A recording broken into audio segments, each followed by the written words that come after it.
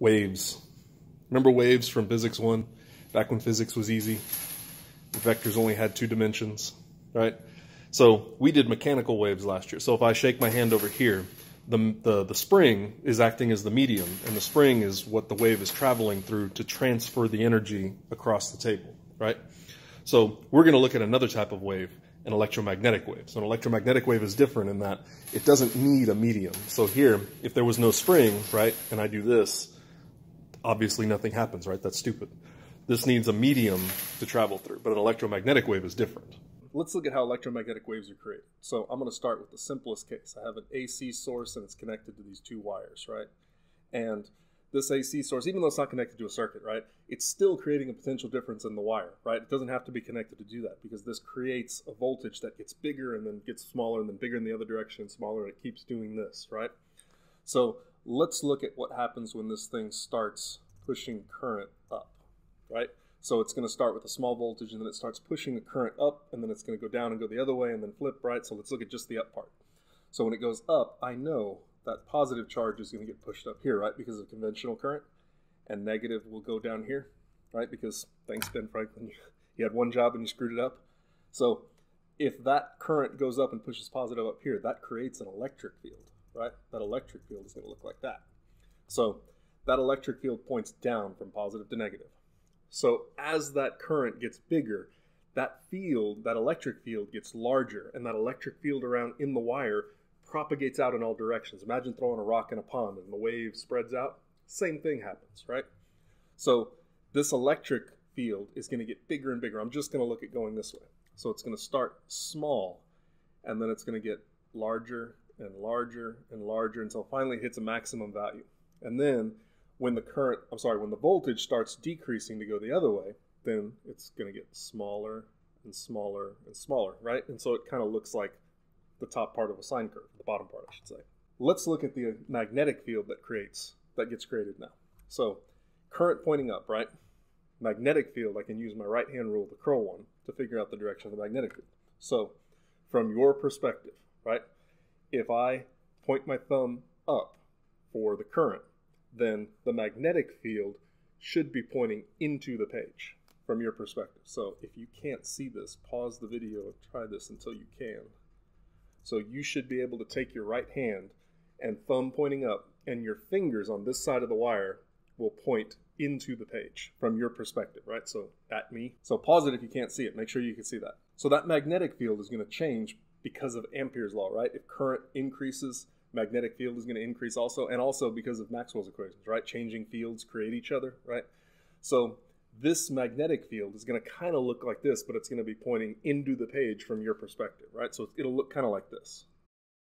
Okay, I know that's terrible drawing, but imagine from your perspective, the electric field is pointing down and the magnetic field is pointing into the page. So it kind of looks like that, but it's head on, right? So this is what it looks like when the current goes up. But remember, that current's going to go up and it's going to create a field that gets bigger and then it's going to turn around and go backwards. So what happens when the current starts going the other way, right? Well, let's look at that.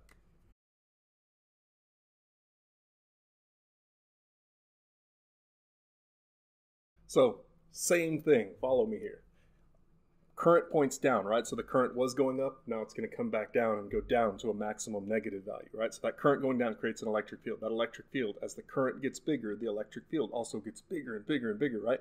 And then it turns around and gets smaller and smaller and smaller and goes back to zero. So that electric field is the blue one. The magnetic field now, if I take your right hand, right, thumb pointing down, you should see from your perspective the field on this side is pointing out of the page at you, right? So on this side of the end of the page. So again, this this is happening in all directions, going out like dropping a rock in a pond in a circle, right? I'm just looking at this way. So my field is pointing out of the page from your perspective, right? And you see how it gets bigger and bigger and bigger, and then it gets smaller and smaller and smaller. So that's basically what's happening. As the current goes up and gets smaller, it does this. And as the current goes down and goes back, it gets like this, right? So I could do this even with one charge. If I took one charge and just did this and moved it up and down, made it accelerate, this would happen. So let's throw all this together and kind of look at what it looks like.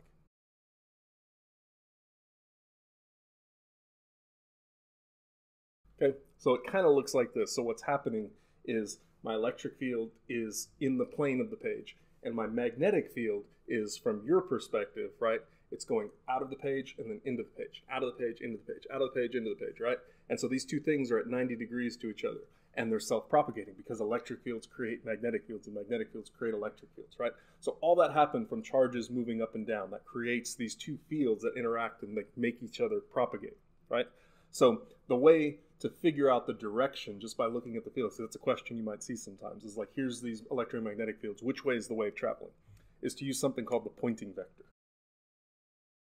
We're not going to calculate this, right, because it's a cross product, but you can use this to figure out the direction because the velocity of the electromagnetic wave is going to be the cross product of the electric and the magnetic fields, right? So again, when you do cross products, you cross the first vector is your thumb, your second vector is your fingers, and then when you cross them, that gives you the vector, right? That's the direction. So if I take my electric field and like let's look it over here. This one's easier. No, this one's easier to do. So my electric field pointing down right? I would take my thumb, point it down, and my magnetic field is from your perspective pointing into the page, right? So if you line up your thumb pointing down and point your fingers into the page, when you cross them, boom, there's your velocity, right? Okay, let's go look over here. If I take my thumb, which is my electric field, and point it up, and I put my magnetic field out of the page from your perspective, right? It looks like this. Boom, cross them, it looks like that. So you can see what's happening these vectors are just doing this, and the velocity is always pointing in the direction of motion, right? And so all it's doing is going like that, and the velocity is always forward. And so electromagnetic waves, what creates them is basically any charge moving, right? Here I used an AC source, right? This is like the example from your book, but it could be just taking like you can't grab a proton, but if you take a proton and you shake it like that, that'll happen. So I'm going to leave you with uh, a simulation because this is not the greatest drawing. I'm going to leave you with this simulation to, that shows a better example of what I'm talking about instead of me trying to draw. Okay, so here's the simulation. I got an antenna and I can move an electron up and down like I was showing you. And let me put this on oscillate so it looks better, right? And so when it moves, it creates this electric field in the green, and that electric field is what travels out in space and it can interact with other things. And that's what carries the energy from like this electron over here to this electron in this antenna right? And that's how low energy electromagnetic waves work right? So this wouldn't work for like x-rays or gamma rays or uh, high energy stuff like that right? Because the size of the antenna is going to matter. So you can't make an antenna that small to make one. This is how like radio waves and microwaves stuff like that work. And so again i was talking about how we only look at it going in one dimension, right? But in reality, this is what the wave looks like. So that electron moving creates a field that propagates in all directions. So you can see some going there, and you can watch it going here, right? And then you can see another one coming down this way, right? So it looks like you dropped a rock in a pond and it ripples out. And it goes out in all dimensions, but we only ever really look at it as going one way just to make it easier. Right, so this is how this is the basic way electromagnetic waves are produced. Right, there's a bunch of other ways we'll eventually get to, but this is the simple way low energy electromagnetic fields are created.